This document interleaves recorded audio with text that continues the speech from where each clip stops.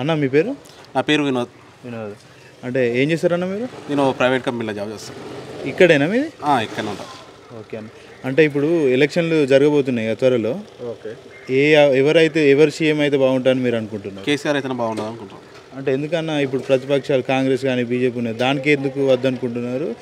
KCR CM కావాలని ఎందుకు అనుకుంటున్నారు? కేసీఆర్ వచ్చినా కానీ డెవలప్మెంట్ ఉంది రైతు బంధు కానీ పింఛన్లు కానీ అన్ని టైంకి వస్తున్నాయి. రుణమాఫీ చేసిండు. బెస్ట్ సీఎం అనుకుంటున్నాం. అందుకే మేము బీఆర్ఎస్కి ఓటేద్దాం అనుకుంటున్నాం. అంటే ప్రతిపక్షాలు అయితే ఈ బీఆర్ఎస్ ప్రభుత్వం చాలా వరకు అవినీతి చేసింది. మొత్తం అప్లపాలు చేసింది తెలంగాణ అంటున్నారు. దాన్ని మీరు ఎట్లా అనుకుంటున్నారు? ఇక ప్రతిపక్షాలు అంటే కామన్ అంటారు.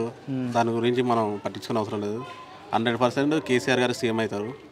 ఆయన దాంట్లో ఉండడం బెటర్. అంటే బీఆర్ఎస్ పార్టీకి ఏదైతే గట్టి పోటీ ఇస్తారని మీరు అనుకుంటున్నారు? బీఆర్ఎస్ పార్టీకి ఇప్పటివరకు గట్టి పోటీ ఇచ్చేది ఇంతవరకు కాంగ్రెస్ కూడా అనుకోవట్లేదు బీజేపీ కూడా లేదు. అంటే రేవంత్ రెడ్డి వచ్చినాక కాంగ్రెస్ కొద్ది వరకు ఊపు వచ్చింది గట్టి పోటీ ఇస్తారు అని అంటున్నారు. అంటే దాన్ని మీరు ఎట్లా అనుకుంటున్నారు? రేవంత్ రెడ్డి వచ్చినా నేను చూస్తున్నాం వాళ్ళ సీట్ల కోసం వాళ్ళే కొట్టుకుంటున్నారు. అంతా పోటీ ఏం లేదు. అంటే వాళ్ళు పొట్టు అంటే కొట్టుకోవడంతో వాళ్ళకి వాళ్ళ మధ్యలో పోటీ ఉంది వాళ్ళు వాళ్ళే మ్మ్. ఎక్కడ చూసినా ఇప్పుడు టికెట్ల వాళ్ళది. వాళ్ళ క్యాండిడేట్లే సరిగా లేదు. అంతే కాంగ్రెస్ను వేయరు ప్రజలు. ప్రజలైతే వేసే అవకాశం లేదంట కాంగ్రెస్కి లేదు. ఓకే. హండ్రెడ్ పర్సెంట్ బీఆర్ఎస్ వస్తుంది. ఇప్పుడు కేఏపాల్ ఉన్నారు కదా. కే పాల్ ఆయన కూడా తిరుగుతున్నాడు ఈ మధ్యలో.